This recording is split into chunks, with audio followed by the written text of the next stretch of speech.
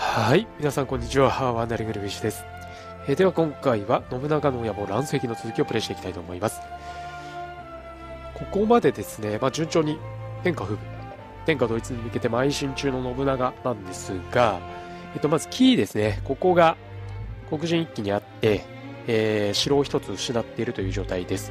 あと、能登の本願寺、ここの攻略も進んでいないというところがあるので、今回はね、この辺り中心にプレイしつつ、外交、ここをね、ちょっと、ちまちましたプレイにはなってしまうんですが、しっかりやっていきたいなというふうに思います。では早速、続きをプレイしていきましょう。あとですね、実はあのーここまでご覧いただいている方はご存知かもしれないんですが、まず柴田勝家軍団長を指名していたら、謀反を起こしたので、池田恒興に変えてというプレーをしていたんですけど、池田恒興も謀反を起こして独立をし始めたので、えーもう信長の直轄に変えました。なので、庭長秀はここまで裏切り行為はないので、第2軍団は庭長秀に任せつつ、第3軍団、池田恒興の軍団はなくして、信長の直轄に変えています。こんな感じですね。恒興は、ここで、軍団長の任を解いているので出奔で済みましたけども、軍団長についているとここで独立をしていきます。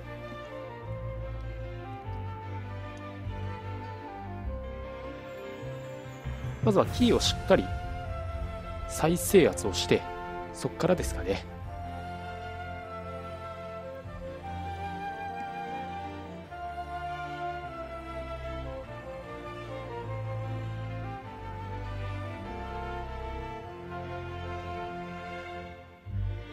いや、商人はみんな織田家に対して敵対するようにと言っていますね。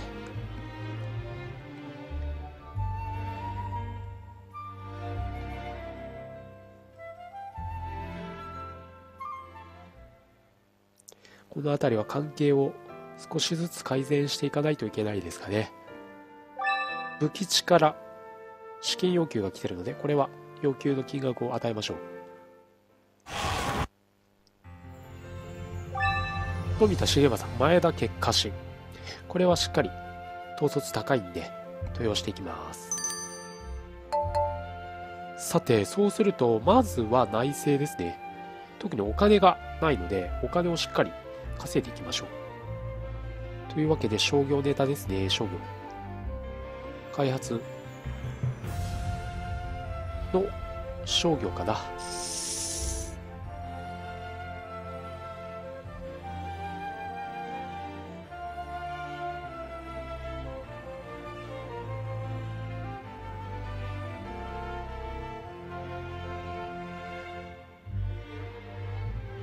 そしたらあとは、ちょっとね、ちまちました内容にはなるんですが、しっかりと外交をやっていきます。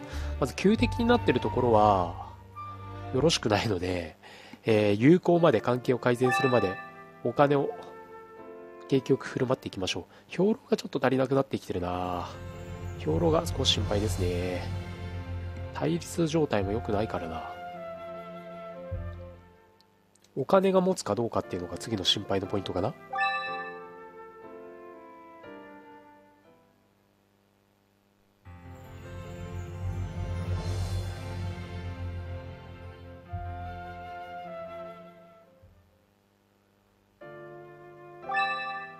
信長はうま恨まれてるなっていう感じがすごいからな金をばらまいていくしかないんですけど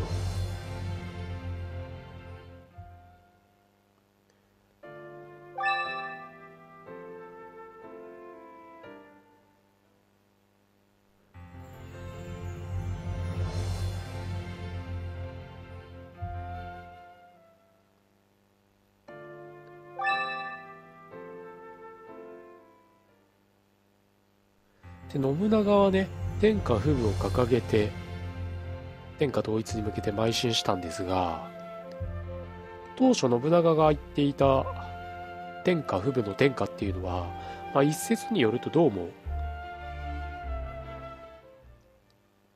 機内一体を指していたようですね。でもちろん信長が上洛を果たして時の将軍足利義昭を事実上追放した後からは、まあ、中国地方の毛利だったり四国の長宗我部あとは関東の北条。この辺りを意識して天下統一天下不武の意味がおそらく日本全国に変わっていったんじゃないかなと思うんですけども当初はね尾張美濃を制圧して天下不武を掲げた頃というのはやはり畿内一帯を制圧する。これを天下不武という位置づけにしていたらしいです。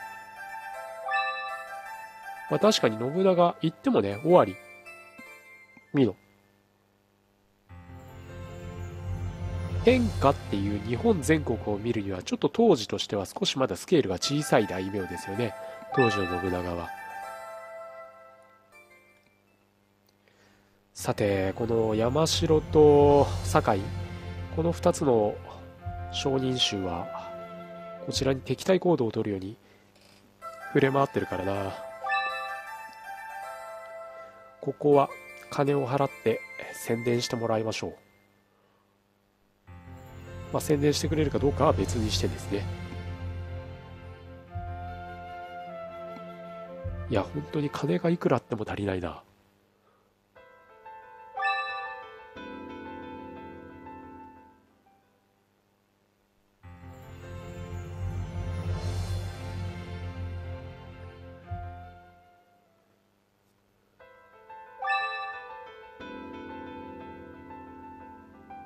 どんどんお金を稼いで兵糧を稼いでいかないと。も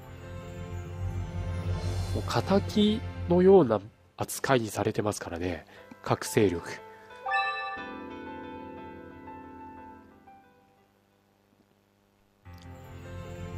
まあせめて有効状態にはしておかないといざという時に絶対に敵対行動を取りますからね。味方にならなくてもいいから中立は保ってほしい。い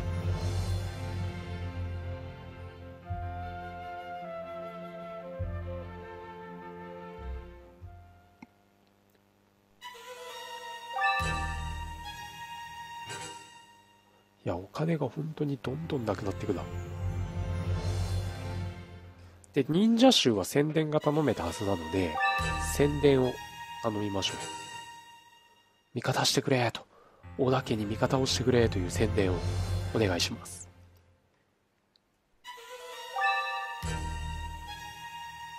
さて、ちょっとお金と兵糧がなくなってきてる心配事項はあるものの、一通りこれで外交は終わりかな。あとは軍団で輸送して、庭長秀のところから金をちょっと巻き上げましょう。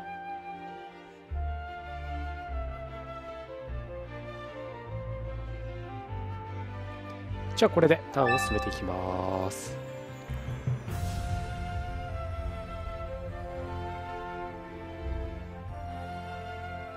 おまた成政か。成政よく本当に見つけるよな。そして殺した。やるな。成政もこの辺り徐々に能力を上げてきてますね。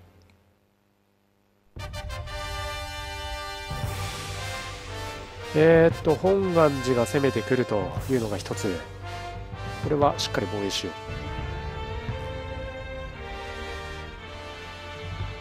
う。近江から援軍を出せば、これは追撃できるでしょう。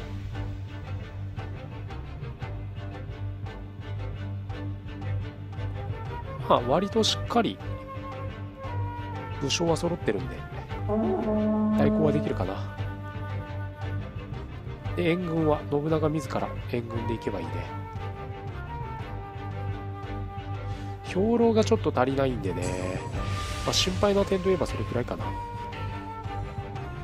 この上から武将が率いる軍勢が多い順に出していけば、まあ、十分に防衛はできると思います。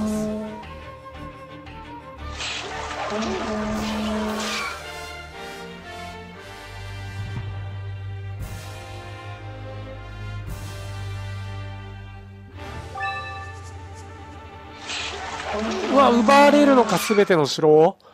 マジか。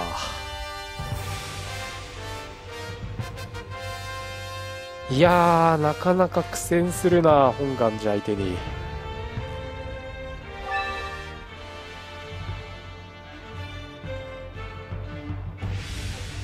いや信長包囲網だね完全なる。せっかく取った一前若さこの辺りが失われましたね。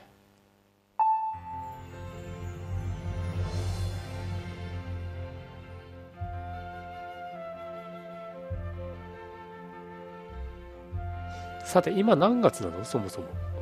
そこからだな。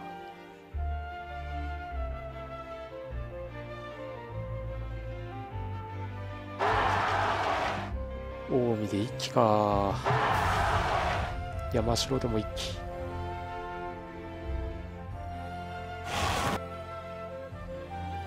4月。まだまだ。お金が入ってくるには。時間がかかりますね。しょうがない。ここはまた地道に交渉していこう。もう交渉に交渉を重ねて味方を募っていくしかないですからね。いやー兵糧がないな。それにしても。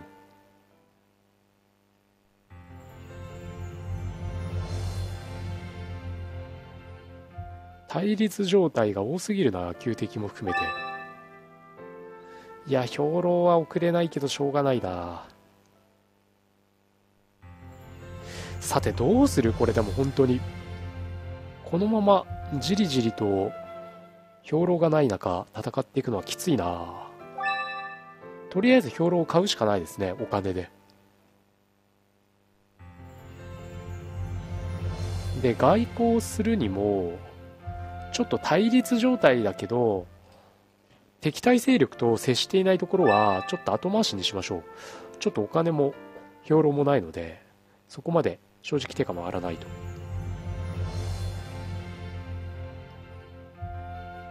さすがに旧敵はまずいので旧敵は改善するにせよだ。兵糧がないんで攻められても出陣ができないからな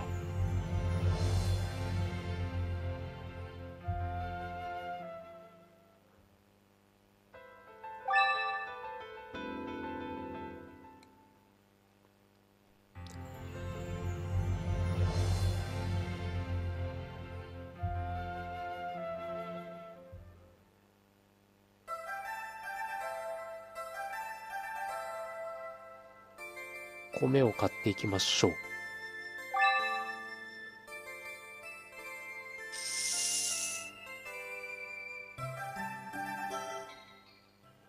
まずはキーを取り返して若さですね。ここも取り返していかなきゃいけないな。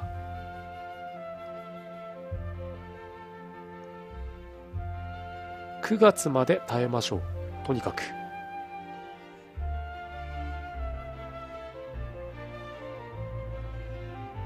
お斎藤利光が女忍者を捕まえたな。船虫のおこまで合ってます？惨殺。いやー攻めてこないでよ。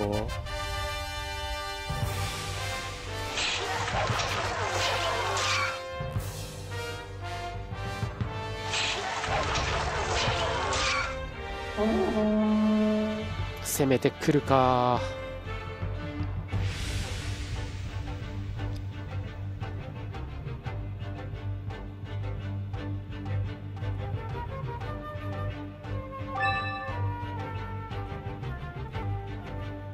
いや近江まで朝倉に奪われるの？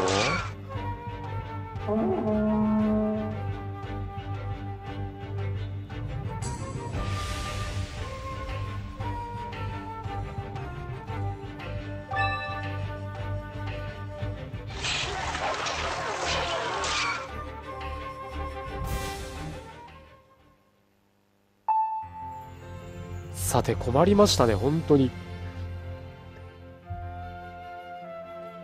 まさか、近江まで奪われることになるとは思わなかったな。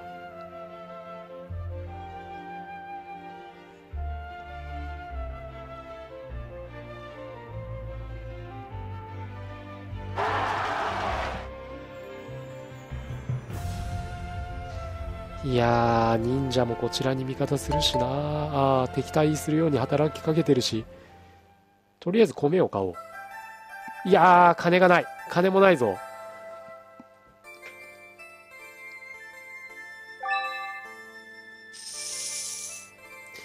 ちょっと何もできなくなってきてる。どうする？今5月。しのぐしかないけど。いや、これ軍団崩壊だな、本当に。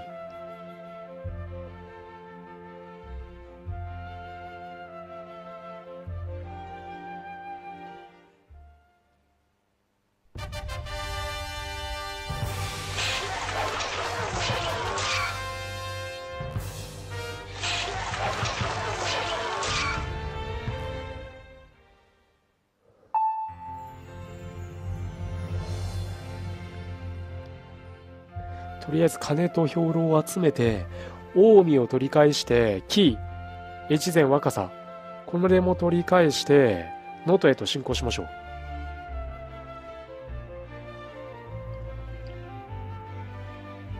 柴田勝家、よくそれで来るな。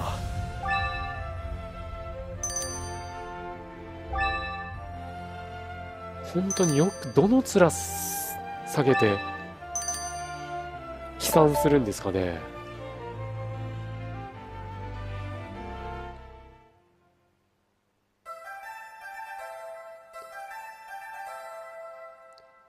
兵糧を買っていきます。いやーいよいよ厳しいなまだ6月でしょ？ちょっと何もできないですね。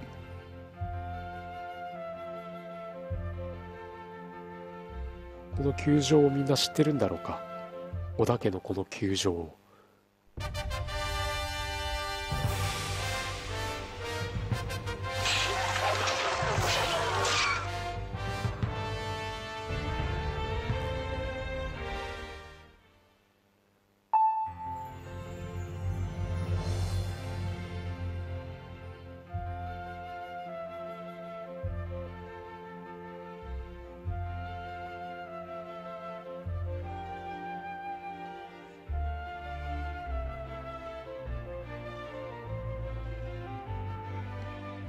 せっかくねお金を出して状況を改善しようとしたのに結果金がなくなるだけっていうね。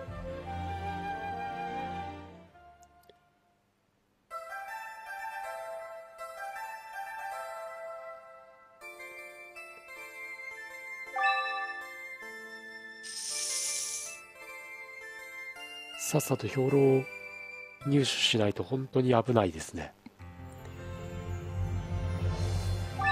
今攻められても出陣できない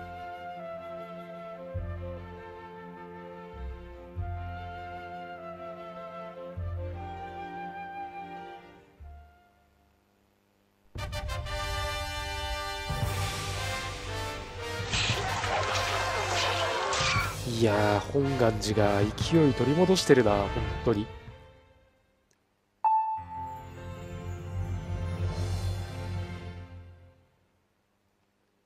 ちょっと待ってくれここで。台風の被害はいらないけど大丈夫だね。それてくれたの。関東直撃ですね。関東直撃。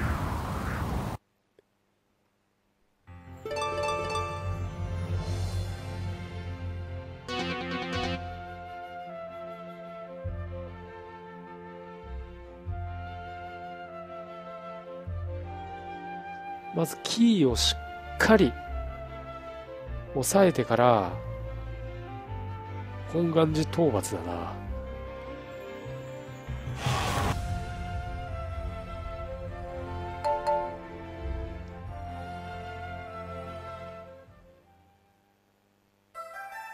いやー、お金全然入ってきてないし、兵糧も入ってきてない。マジか。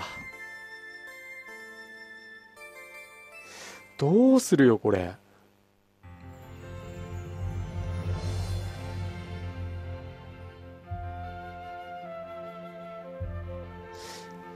いや、第一軍団、第二軍団、ともに金も兵糧もない。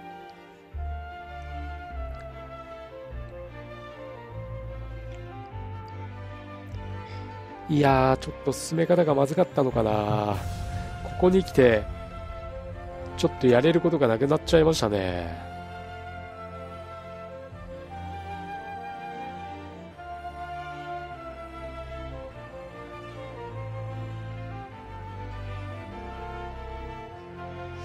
いっそのこと本願寺に嫁を嫁がせてまあそうだよね。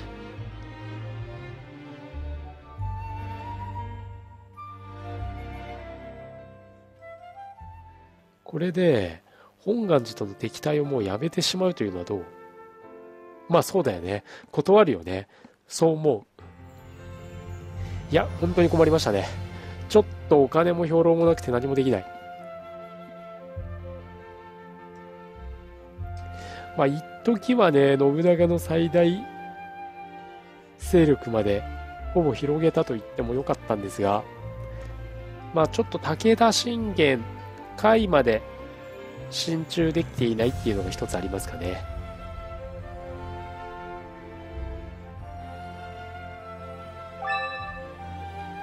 なんとかもう一押ししたいな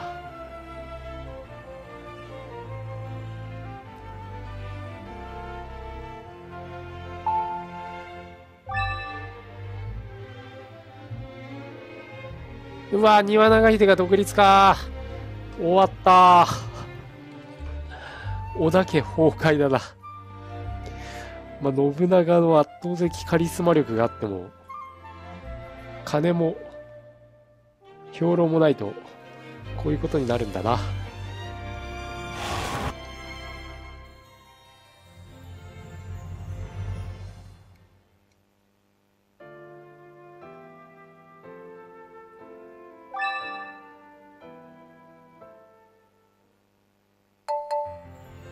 はい、えー、というわけでですね、まあ、ちょっとここまで信長の野望を全部やるシリーズのチャレンジとしては信長の最大半島まで広げるまではプレイしようというところでこれまでずっと進めてきたんですが、ちょっとこの乱世紀、ここまでとさせていただきたいというふうに思います。